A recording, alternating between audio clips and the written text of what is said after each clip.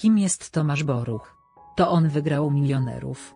Wykonuje niecodzienny zawód.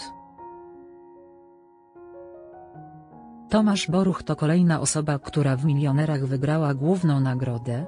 Jak się okazuje, mężczyzna wykonuje niecodzienny zawód.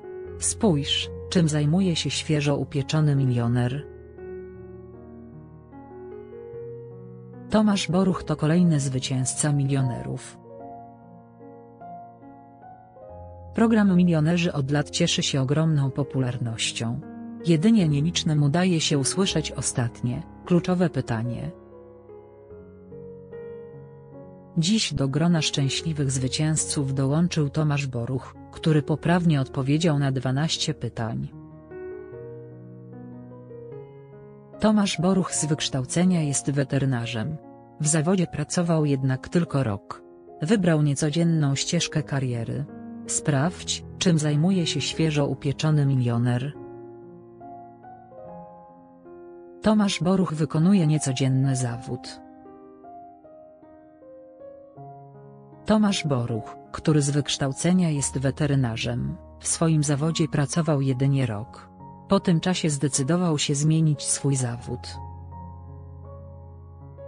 Obecnie świeżo upieczony zwycięzca programu Milionerzy pracuje w warszawskim laboratorium, w którym bada leki przepisywane na konkretną chorobę danej grupie ludzi. Twierdzi także, że uwielbia rozwiązywać krzyżówki. Oni także wygrali milion w milionerach. Tomasz Boruch 3 kwietnia został siódmym w historii zwycięzcą głównej nagrody w milionerach.